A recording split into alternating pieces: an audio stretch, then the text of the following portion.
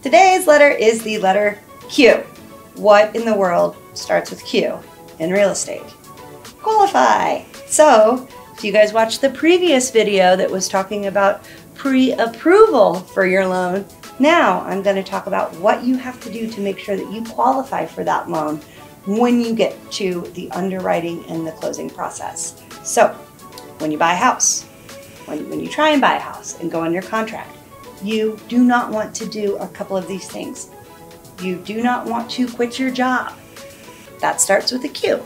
You do not want to go out and buy a new car. That is going to adversely affect your credit and could impact your possibility of getting qualified for that loan.